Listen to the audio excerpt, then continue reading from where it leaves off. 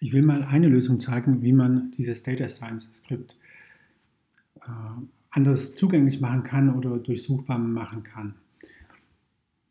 Äh, als erstes lade ich immer ein paar Sachen rein und die Datenbank selbst, die wir hier erstellt haben, ich zeige dir mal kurz, das ist ja das. Also wie gesagt, sobald man die hier aktualisiert, kann man die einfach in das Verzeichnis reinkopieren und hat dann eben ähm, das Ganze aktualisiert vorliegen und die ganze Funktionalität bleibt natürlich erhalten. So als erstes Mal möchte ich eine Spalte, vielleicht zeige ich es doch nochmal kurz, eine solche Spalte, die Keywords-Spalte beispielsweise, die ganzen einzelnen Wörter hier in einer Liste darstellen. Und nur am Rande, die Keywords, das sind natürlich keine Keywords, hier sollten eigentlich eher sowas rein wie Visualisierung, Schleifen oder sonst irgendwas, aber nicht Commands und Keywords ersetzt doppelt. Soll es aber für den Moment egal sein. Also einmal die Keywords hier. Um, ähm, so als erstes lasse ich mir hier mal diese Keywords Liste ausgeben, um die einmal zu sehen. So, das ist diese, ist diese Keywords-Liste. Jetzt brauche ich diese ganzen Not and Numbers nicht. Und deshalb mache ich Drop NA. Und dann habe ich die ohne diese ganzen Numbers. Jetzt habe ich ja angenommen, ich nehme jetzt hier raus das äh, vierte Element. Und dann habe ich jetzt einen einzigen String. Und in dem sind verschiedene Wörter drin. Aber gelesen wird als ein String, denn hier gehen die die Zeichen auf, die Anführungsstriche, und hier hinten gehen sie zu. Das heißt, das hier ist nur wie ein einziges Wort, wird es wahrgenommen. Und den kann man jetzt ähm, splitten. Ich mache hier mal kurz eine, eine Temp-Variable und packe das in diese Temp-Variable. Also dann sieht das Ganze hier wieder so aus, wenn ich es ausführe. Ja, das jetzt Temp und ich mache die mal so, dass ich mich selbst gleich verwirre. So, und jetzt kann ich hier ein weiteres oder jetzt kann ich hier mit Split diesen String aufsplitten und zwar dort, wo ich das gerne hätte. Und ich möchte es gerne an den Kommas haben und dann gebe ich hier an Kommas. Dann wird das Ganze hier an den Kommas gesplittet. Und jetzt habe ich eine Liste, wo die ganzen einzelnen Wörter drin sind. Wunderbar. Das ist genau das, was ich hier haben möchte. Und ähm, dann schaue ich mir nur dieses TMP an. Und das ist jetzt das Ganze hier, beziehungsweise das Ganze ich jetzt einfach mal Column, weil das ja diese eine Column ist. Und was ich jetzt mache, jetzt mache ich eine Liste, äh, eine Schleife über diese Column, wo jedes einzelne Element, also dieses Element, dann dieses Element, dann dieses Element der Reihe nach drangenommen wird und mache dann einen String Split. Ja, also ich mache hier for i in Column, Column so, jetzt mache ich dieses, also jetzt mache ich Split Strings ist gleich, und das ist jetzt i. i wäre jetzt zum Beispiel dieses erste Element hier. Ja? Dann mache ich hier Split und zwar bei einem Komma soll es gesplittet werden. Und ähm, das kann ich jetzt mal kurz ausgeben, vielleicht funktioniert es. Split Strings. Ja, dann wird dann bekomme ich diese Liste, diese Liste, also ich bekomme jetzt lauter Listen. Und zwei Listen kann ich jetzt zusammenfügen mit simplen Addieren. Also ich zeige das hier mal kurz. Wenn ich hier eine Liste habe, 1, 2, 3, das ist äh, A und ich habe eine Liste B und die ist gleich 4, 5, 6 und jetzt mache ich, jetzt mache ich A plus B und dann habe ich eine einzelne Liste. Das ist genau das, was ich will. Ich will diese Liste hier und diese Liste zusammenfügen. Das heißt, hier oben habe ich jetzt, ähm, jetzt mache ich eine neue Liste, die dann eine Summe dieser Gesamtlisten sein soll. Diese Liste soll heißen Keyword List. Und dann mache ich hier die Keyword List, die leer ist. Keyword List, die ist leer. Aber zu dieser, ich das mal, den Tippel ab. Und zu dieser Keyword-List addiere ich jetzt diese Split-Strings. Ja, dann wird zu dieser leeren Liste wird dann das hier hinzuaddiert. Im nächsten Schritt wird das dazu addiert, das und dann bekomme ich eine einzige große Liste hier. Also gucke ich das mal an. Keyword List. So, dann habe ich eine einzige große Liste. Jetzt könnte man noch hingehen, könnte, es gibt noch Befehle, um Leerzeichen zu entfernen und so weiter. Das will ich jetzt erstmal hier nicht machen, weil es einfach sonst zu lang wird. Und aus dem Ganzen hier mache ich jetzt noch einen Befehl, dass ich mir aussuchen kann, welche ähm, Kategorie, also welche Spalte ich in so eine Liste, ähm, in so eine Liste als eine Liste ausgeben möchte. Also, dazu mache ich hier vorne hin ein def. Und das Ganze soll heißen select column elements. Warum das so heißt, vielleicht später noch ein bisschen klarer. Dann die Kategorie wird hier eingegeben. Und dann habe ich hier das Ganze, was ich einrücken muss. Und Keywords, das nennt sich Kategorien.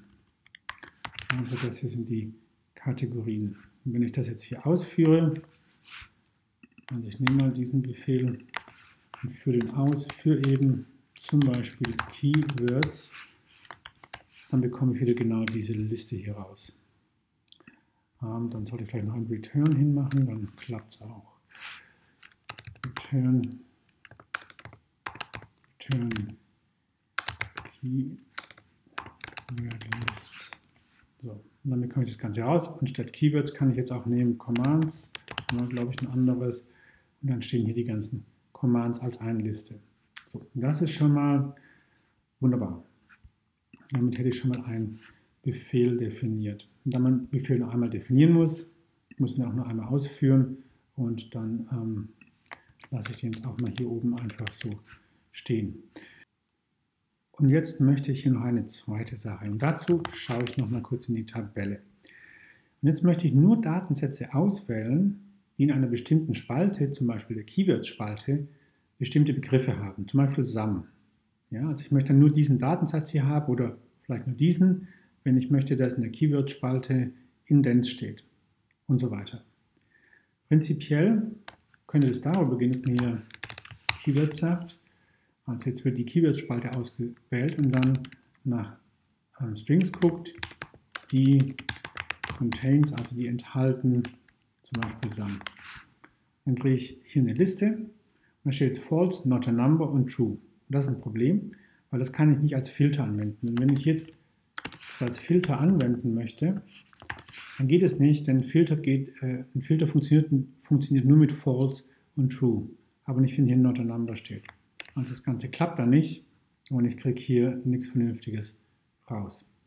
Deshalb muss ich hier zunächst noch was anderes machen.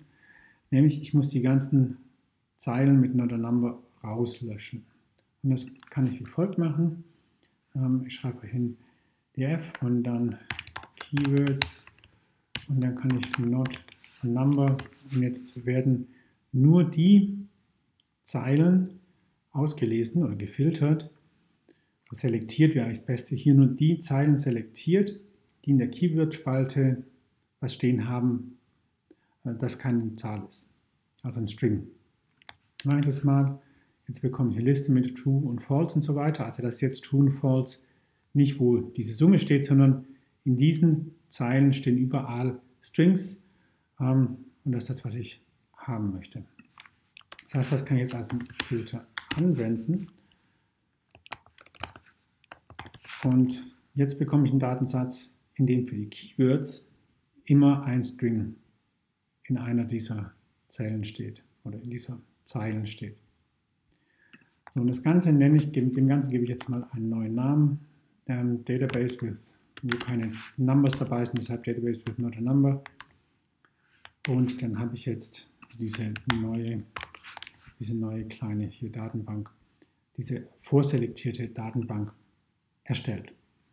Und in der kann ich jetzt hingehen und kann das machen wie von vorher. Ich mache jetzt String contains, ups, da muss ich noch die Kategorie mit reinschreiben. Das soll sein, ich schreibe hier schon mal rein Cut und hier oben auch Cut für Category.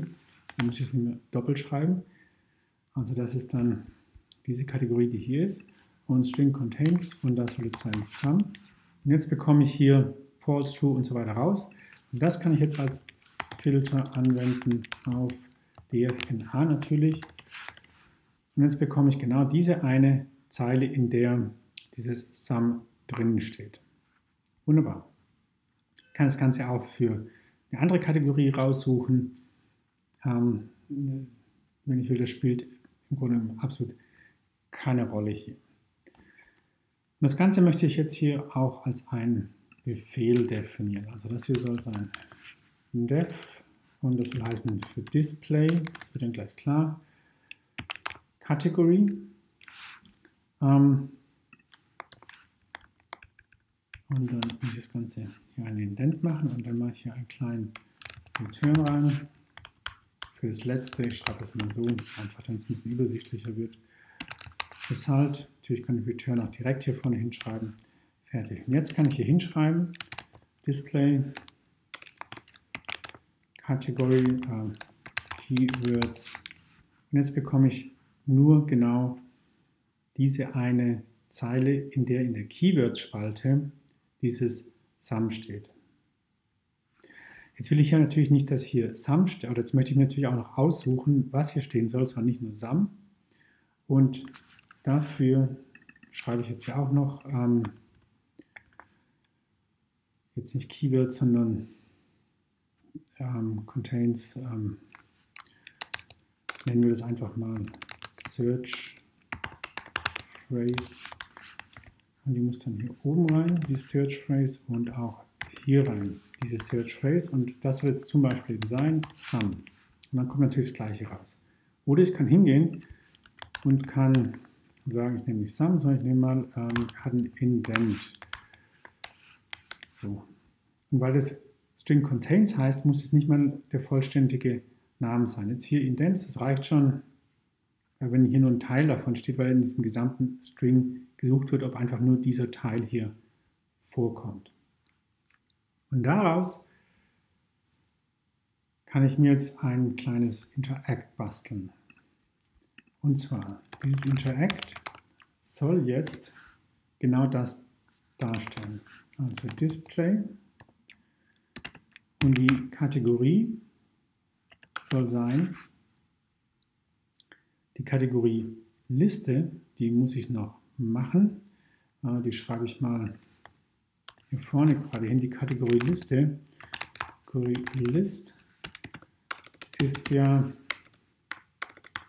diese erste Zeile hier. Das heißt, ds, df, columns to list und dann hat man die Kategorieliste. Das hat man schon ab und zu mal gemacht. Führe ich das aus, damit die auch da ist. Und dann machen wir Copy-Paste, damit hier nichts schief geht. Und als zweites dann noch das, dieses Search Phrase. Und das soll jetzt ein Suchfeld werden und in dem Suchfeld soll als erstes Wort drinstehen Search. Und dann ähm, führe ich das Ganze hier einmal aus. Und jetzt habe ich hier diese Kategorienliste und hier unten kann ich irgendein Search Phrase eingeben. Also hier gebe ich gleich mal ein, Loop. Und jetzt sieht man schon, während ich das tippe, was natürlich extrem cool ist, fängt das Ganze an, sich entsprechend zu reduzieren. Ja, und ich gebe nochmal das Sum ein. Das bin bei Title, das wird nichts. Ich soll schon Keywords aussuchen und dann funktioniert es auch. Ähm, bei Sum. Oder ich mache Sorted. Ähm, oder was gibt es denn nur bei, bei Imports? Gibt es was mit Module? Da kann ich das mal ausprobieren. Imports. Dann hier Modules. Dann reduziert sich das hier schon runter auf dieses Modules. Also das ist wirklich sehr schön. Das heißt, auf die Art und Weise habe ich jetzt hier eine kleine, kleines Searchfeld gemacht, um, wenn ich mir jetzt sage, oh, ich wollte irgendwo bei den Commands, ich weiß, es gibt ein Command, ähm, das ist irgendwie eine Vorschleife, ich hier vor, so, und dann habe ich genau das. Perfekt. Und dann, okay, dann mache ich das Ganze hier oben mal ein bisschen zusammen in, in eins rein, damit das, was ich jetzt alles nicht mehr brauche, die Kategorieliste brauche ich noch. Ähm, die mache ich mal als erstes hier oben hin und, ups, das war falsch und dann die beiden Befehle untereinander, damit es ein bisschen schöner wird das Ganze. Das hier brauche ich nicht mehr, schneide ich mal aus. Und jetzt funktioniert das Ganze hier wunderbar. Und so weiter. Jetzt möchte ich mir noch das Video angucken. Jetzt möchte ich mir dieses Video hier ähm, direkt hier im Jupyter Notebook anschauen. Und dazu muss ich zuerst mal noch was importieren. Und zwar from IPython display import. Ausführen brauche ich jetzt gleich. So, das hier alles brauche ich nicht mehr. Und dieser iframe funktioniert jetzt wie folgt. Also iframe und dann muss ich hier eine Source angeben und das muss ich einmal kurz abtippen. Sorry, das dauert jetzt kurz. Ähm, das muss ein String sein, https Doppelpunkt, muss mal hier gucken, slash slash Video und dann brauche ich hier ein, ein, ein Key. Ähm, jetzt muss hier eine Zahl rein, da mache ich mal kurz große X rein, das wird gleich klar, wie das Ganze funktioniert. Und dann Title ist gleich 0, das sind so bestimmte irgendwelche Kram. Bei Line gleich 0 Portrait gleich 0. Das sind irgendwelche Player-Einstellungen. Soll uns ein bisschen Width mache ich hier mal. Das ist die Breite, offensichtlich. 560 und dann mache ich noch die Height ist gleich 315. Das sind diese Voreinstellungen, die jetzt ganz gut funktionieren. So, jetzt muss ich jetzt mal kurz auskommentieren, weil hier diese x, das funktioniert natürlich nicht. Ähm, als erstes kann ich, will ich jetzt mal gucken, beziehungsweise jetzt habe ich jetzt Video Nummer 5. Ich möchte Video Nummer 5 anschauen. Das will ich mir, also ich will jetzt hier diesen, ach, da war ja auch der Link, der ist auch, ah, nee, das ist falsch. Und aus diesem, sorry, und aus diesem Link, das ist jetzt Vimeo, brauche ich diese Zahl hier hinten. Nur diese Zahl hier hinten, die muss an dieses xxxxx reinkommen. Ja, das heißt, zuerst mal muss ich diese Zahl hier bekommen. Das mache ich wie folgt. Ich mache hier ein df, Location Nummer 5 und dann soll es Link Vimeo sein. Und dann bekomme ich hier, sieht man hier unten, genau das, was hier hinten steht. So, jetzt möchte ich das hier hinten haben, diese Zahl. Das heißt, ich kann jetzt wieder hingehen, machen Split. Diesmal soll der Split sein bei Slash. Dann wird hier über dem Slash gesplittet, führt das aus. Jetzt habe ich eine Liste mit, und hier hinten ist die Zahl, die ich brauche. Das letzte Element, das letzte Element erhalte ich, wenn ich hier hinten eingebe, minus 1. Dann wird von hinten gezählt. Das erste Element von hinten ist das. Gucke ich hier, das ist die Zahl. Die Zahl muss hier rein. Das heißt, ich muss hier mal das Ganze so machen. Oder ich mache es mal kurz, ohne dass damit es vielleicht klar wird. Ähm, ich nehme einfach mal kurz diese Zahl und kopiere die genau hier rein. Und dann führe ich das mal aus. Ähm, habe ich irgendwas vergessen? Nee. Ich muss mal kurz gucken, ob ich irgendwas. Okay, dauert ein bisschen arg lang. Eigentlich sollte es schneller gehen. Und jetzt hier das Video. Kann ich hier abspielen. Direkt äh, im Jupyter Notebook. Programmiersprachen gibt es zwei Gruppen. Und jetzt will ich das natürlich flexibler machen. Das heißt, diese Zahl hier, die soll weg.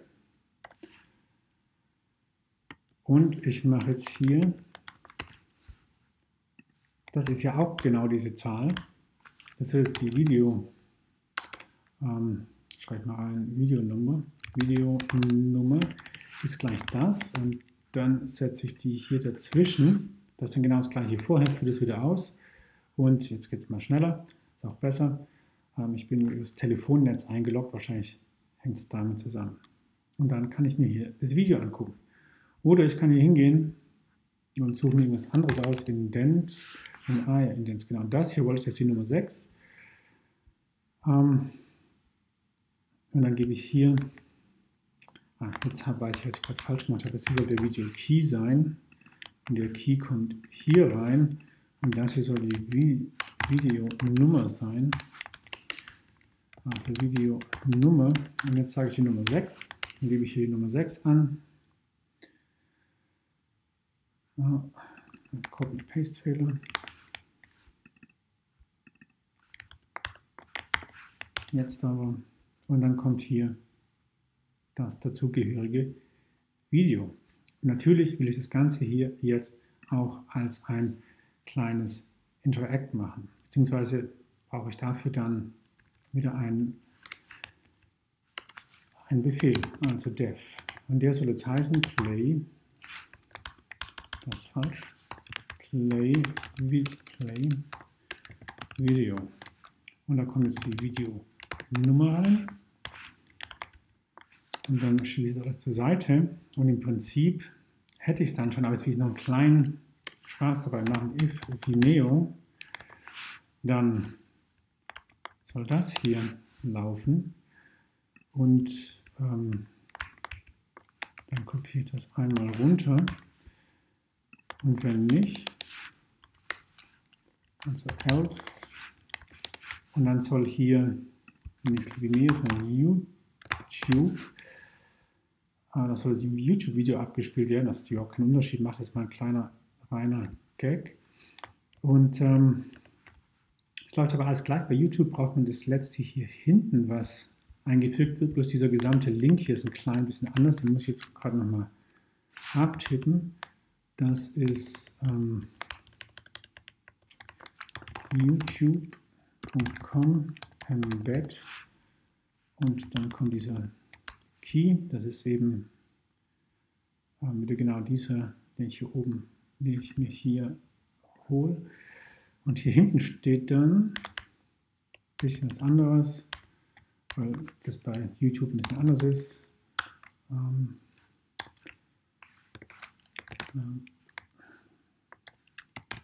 Schulz ist gleich 0. Wie gesagt, sowas macht man Copy-Paste irgendwo raus, das äh, weiß ich natürlich auch alles nicht. Ähm, Info ist gleich 0. Jetzt hoffe ich, dass ich das alles richtig abgetippt habe. Jetzt ist das erstmal Befehl. Und dann schreibe ich ein Interact darunter. Interact Play Video. Und dann soll hier rein äh, Vimeo ist gleich True. Und hier oben brauche ich, äh, dann brauche ich noch die Videonummer. Videonummer ist gleich, fangen wir mal an mit dass wir irgendwas da stehen hat 10 und Vimeo True. Dann führe ich das mal aus. Ähm, ah, jetzt kommt noch ein kleiner, okay, das wird als Zahl interpretiert, das geht nicht, das muss ein String sein. Sonst klappt das nicht. Allerdings, wenn es ein String ist, hier an der Stelle brauchen wir eine Zahl. Heißt, müssen wir daraus eine Zahl machen. Das ist ja dann von hier übergeben ein String. Dann muss es aber eine Zahl werden. int ist der Befehl für, um aus einem String einen Integer zu machen. Und dann soll es hoffentlich Linear is not defined. Okay, das muss natürlich noch rein. Ein Befehl da oben. So.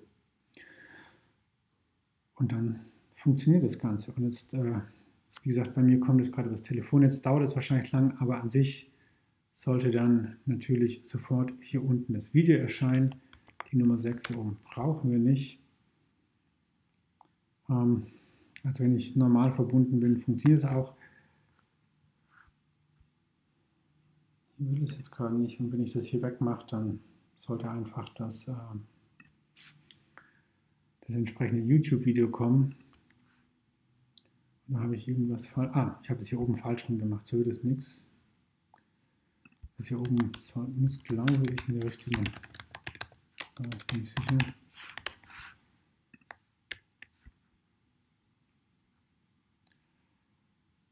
Video. Das ist schon alles richtig. Int, int. Sollte eigentlich, also ich habe es auch schon ausprobiert, das funktioniert eigentlich in der Art und Weise. Und dann kann man hier unten, hat man hier unten ein sehr schönes Video.